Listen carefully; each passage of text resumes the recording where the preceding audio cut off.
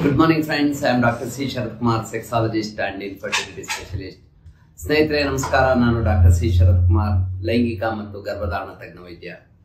ನಾವು ನಮ್ಮ ಚಾನೆಲ್ನಲ್ಲಿ ನಿಮಗೆ ಇದುವರೆಗೂ ಸುಮಾರು ವಿಡಿಯೋಗಳನ್ನ ತೆಗೆದುಕೊಂಡಿದ್ವಿ ಅದರಲ್ಲಿ ಬಹಳ ಮುಖ್ಯವಾಗಿ ಶಿಷ್ಟುವನ್ನು ಉದ್ದ ಮತ್ತು ದಪ್ಪವನ್ನು ಮಾಡೋದಕ್ಕೆ ಇಪ್ಪತ್ತು ಟೆಕ್ನಿಕ್ಗಳ ಬಗ್ಗೆ ವಿವರವನ್ನು ಕೊಡ್ತಾ ಹೋಗಿದ್ದೀವಿ. Friends in our channel we have described about 20 different techniques for the penile enlargement length and girth and strength of the penis.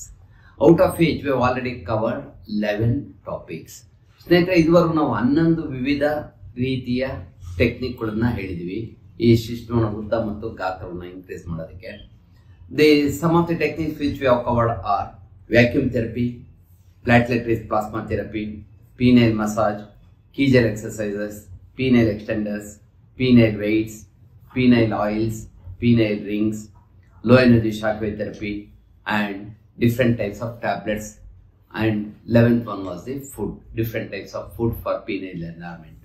ಸ್ನೇಹಿತರೆ ಇದುವರೆಗೂ ನಾವು ಹನ್ನೊಂದು ಟೆಕ್ನಿಕ್ಗಳ technical ಮಾತಾಡಿದ್ವಿ ಅದರಲ್ಲಿ vacuum pump P R P treatment ಶಿಸ್ಟುಗೆ massage ಕೀಜರ್ ಎಕ್ಸಸೈಸು shistuna ಉದ್ದ ಮಾಡತಕ್ಕಂಥ extender ಯಂತ್ರ ಶಿಸ್ಟುವಿನ ತೂಕಗಳು, ಆಯಿಲ್ಗಳು, ರಿಂಗ್ಗಳು, ಲೋ ಎನರ್ಜಿ ಶಾಕ್ವೇ ಥೆರಪಿಗಳು, ಮಾತ್ರೆಗಳು ಮತ್ತು ಆಹಾರ ಪದಾರ್ಥಗಳು. ಇದಿಷ್ಟು ಇದುವರೆಗೂ ನಾವು ಕವರ್ ಮಾಡಿದ್ದೀವಿ ಇವತ್ತು ನಾನು ಹನ್ನೆರಡನೇ ಟೆಕ್ನಿಕ್ ಕವರ್ ಮಾಡ್ತಾ ಇದ್ದೀನಿ.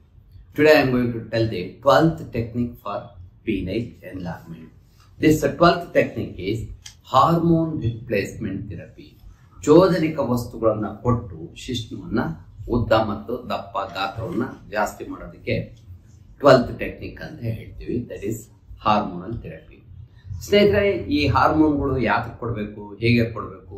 ಮತ್ತು ಇದು ಕೊಡೋದ್ರಿಂದ ಏನು ಪ್ರಯೋಜನಗಳು? ಅದರಿಂದ ಏನಾದ್ರು ದುಷ್ಪರಿಣಾಮ ಆಗುತ್ತಾ ತಿಳ್ಕೊಳ್ಳೋಣ ನಮ್ಮಲ್ಲಿ.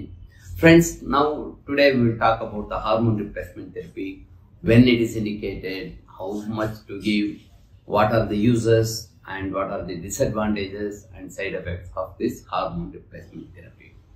Before going to the hormone replacement therapy, let us know which hormones play a role in the penile growth. ಈ ಹಾರ್ಮೋನ್ ರಿಪ್ಲೇಸ್ಮೆಂಟ್ ಥೆರಪಿ ಮಾತಾಡೋದಕ್ಕಿಂತ ಮುಂಚೆ ಯಾವ ಯಾವ ಹಾರ್ಮೋನ್ಗಳು ಶಿಸ್ಟಮಿನ ಗ್ರೋತ್ಗೆ ಸಹಾಯ ಮಾಡ್ತವೆ ನೋಡೋಣ ಬನ್ನಿ ನೋಡಿ ಸ್ನೇಹಿತರೆ ಈ ಸೆಕ್ಸ್ ಹಾರ್ಮೋನ್ಸ್ ಅಲ್ಲಿ ಬಹಳ ಮುಖ್ಯವಾದ್ದು ಅಂತ ಅಂತಂದ್ರೆ ಪೀನಿಸ್ ಹಾಗೆ ಗ್ರೋತ್ಗೆ ಇನ್ಕ್ರೀಸ್ ಮಾಡೋದು ಟೆಸ್ಟೋಸ್ಟಿರೋನ್ ಹಾರ್ಮೋನು ಜೊತೆಗೆ growth hormone prolactin thyroid hormone androsterone ಲಿಯೋನು ಮತ್ತು ಡಿ ಎಚ್ ಡಿ ಹಾರ್ಮೋನ್ಗಳು ಸಹಾಯ ಮಾಡ್ತವೆ. ಜೊತೆಗೆ ಎಫ್ ಎಸ್ ಎಚ್ ಮತ್ತು ಎಲ್ ಎಚ್ ಹಾರ್ಮೋನ್ಗಳು ಸಹಾಯ ಮಾಡ್ತವೆ.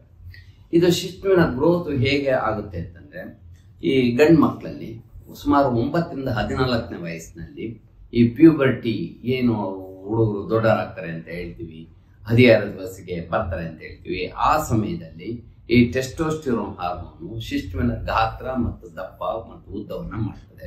ಜೊತೆಗೆ ಬೀಜಗಳು ಕೂಡ ದಪ್ಪ ಆಗ್ತದೆ.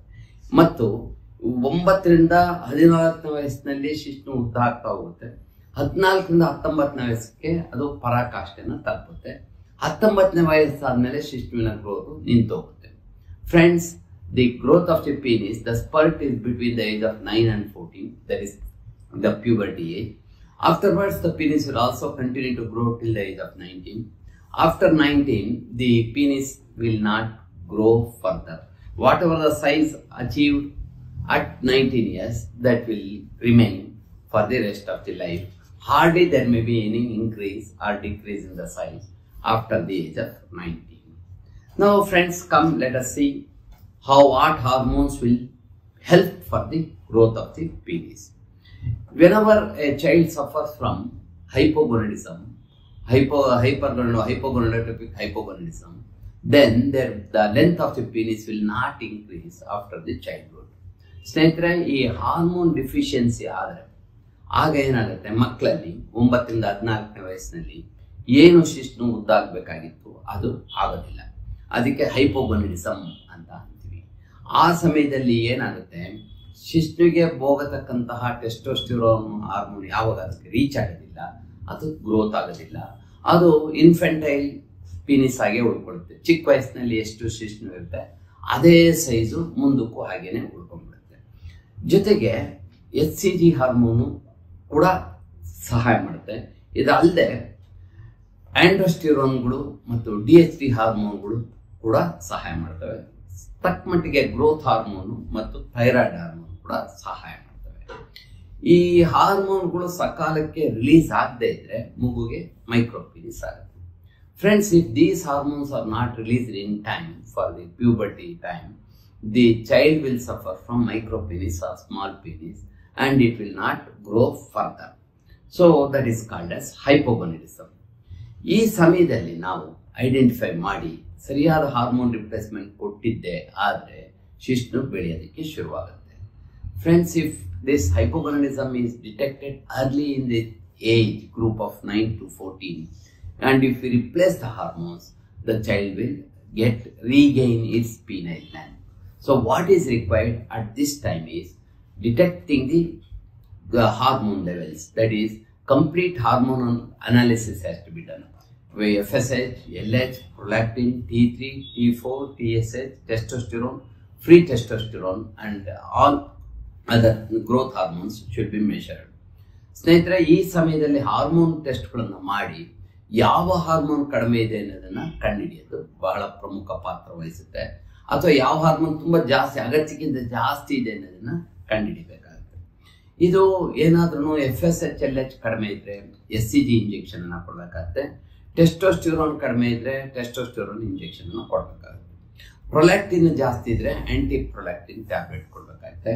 ಥೈರಾಯ್ಡ್ ಡಿಫಿಷಿಯನ್ಸಿ ಇದ್ರೆ ಥೈರಾಯ್ಡ್ ಹಾರ್ಮೋನ್ಸ್ಗಳನ್ನ ಕೊಡಬೇಕಾಗುತ್ತೆ ಗ್ರೋತ್ ಹಾರ್ಮೋನ್ ಕಡಿಮೆ ಇದ್ರೆ ಗ್ರೋತ್ ಹಾರ್ಮೋನ್ ಕೊಡಬೇಕಾಗುತ್ತೆ depending upon the report we have to either give H C G injection if there is deficiency of F S H or L H and testosterone uh, we have to give and if there is hypothyroidism we have to give thyroid hormones and if there is hyperprolactinemia we have to give the anti-prolactin uh, hormonal tablet that is cabergoline tablets so these have to be done meticulously and the treatment maybe have to be continued for 3 to 6 months and we will get the result and the penis will start growing once we replace the hormones Apart from this, every six months the size of the penis should be measured until it attains the size of the penis which is required for that age.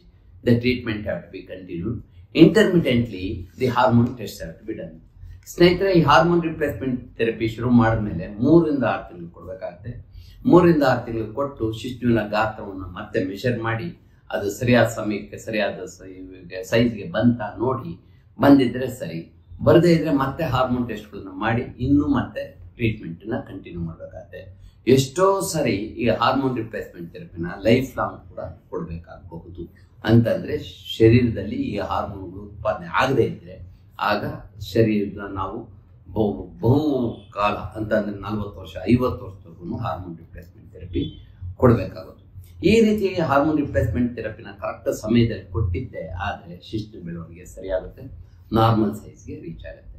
If you give the hormone replacement therapy rain right time the penis size will regain and it will come to the normally expected size ಸ್ನೇಹಿತರೆ this ಇದು ಇವತ್ತಿನ ಒಂದು hormone replacement therapy ಶಿಷ್ಣುವಿನ ಗಾತ್ರ ಮತ್ತು ಉದ್ದವನ್ನು ಜಾಸ್ತಿ ಮಾಡೋದಕ್ಕೆ ನೀವು ನಮ್ಮ ಸಬ್ ಚಾನೆಲ್ಗೆ ಇನ್ನು ಸಬ್ಸ್ಕ್ರೈಬ್ ಮಾಡಿದ್ರೆ ಸಬ್ಸ್ಕ್ರೈಬ್ ಮಾಡಿ. ಈ ವಿಡಿಯೋ ಲೈಕ್ ಆದರೆ ನಿಮಗೆ ಒಂದು ಥಮ್ಸ್ ಅಪ್ ಕೊಡಿ.